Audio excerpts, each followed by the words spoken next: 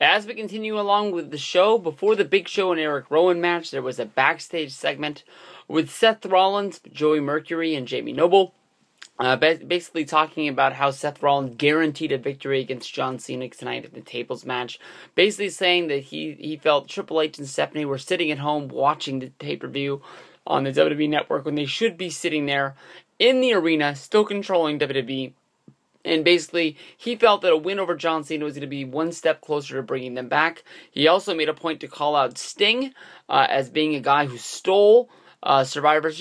I apologize. Survivor Series away from him and him not being able to be there. Seth Rollins said that he had searched for Sting and hadn't been able to find him. I guess that's just saying that basically Sting wasn't going to show up in his match tonight.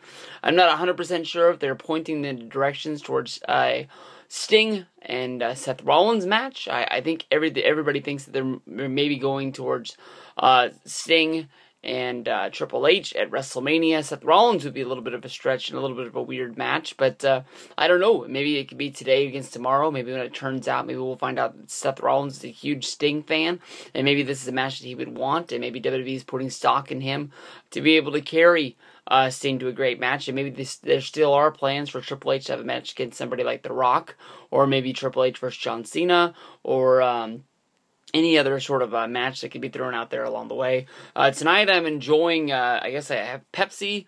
I had some chicken uh, strips. I already ate those. I'm eating some cookies. You can't tell from that side, but they're uh, different colors. I've got pink and white there, rolled through some sprinkles.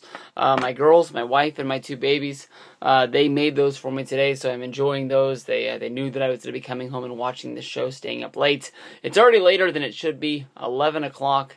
Uh, here we are, Big Show versus Erick Rowan in the stairs match. Honestly, in my mind, very dull, very slow um, match. Uh, both of these guys are to come away with injuries. Uh, it looked like Aaron Rowan injured his groin. It looked like uh, on on a spot where Erick Rowan came off the top rope, uh, holding some uh, steel stairs, and he was going to jam them into the Big Show. The Big Show went to move, but basically didn't get out of the way in time, and it looked like the the steel stairs came right down on Big Show's hip. Uh, easily could be uh, some, some sort of an injury that nags him. Big Show is the kind of guy that works through all the pain, real old timer. So um, I, I, wouldn't really be looking forward to Big Show missing any time.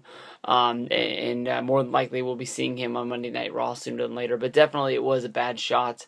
Uh, a lot of things with the uh, the ring steps, as there was like a lot of ladders out there for the ladder match early on in the night. There was probably at least a dozen sets of the ring steps that they claimed to weigh over 200 pounds apiece. But Big Show and Erick Rowan were able to lift them with ease, sometimes throwing them, sometimes running into each other, sometimes hitting people with them. Um, basically, at one point, Erick Rowan built a big, huge wall of the stairs, basically stacking them on top of each other using their pyramid sort of shape to sort of intertwine them. To basically, they would make a wall at one point.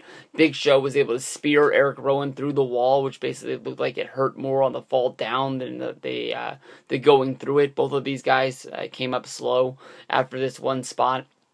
Um, it was a triple combo from the Big Show in order to win this match, where basically um, Big Show nailed uh, Erick Rowan um, basically uh, with a ch- choke slam on top of the stair. Uh, then he hit him right after that with a knockout punch. Uh, as Big Show went to go lay down on him, he, he got some idea in his mind where basically he got off of the uh, the pinfall before the referee even counted one, grabbed a set of steel steps, used the um, the V in them, much like when uh, the the Wyatt family held down uh, Kane and uh, took him out at uh, SummerSlam 2013. Uh, basically pinned Erick Rowan using the steel steps where he wouldn't be able to kick out. Erick Rowan immediately after the steel steps held his balls big time. You can tell that there's some sort of a uh, uh, groin injury there, and we'll see where we go from there.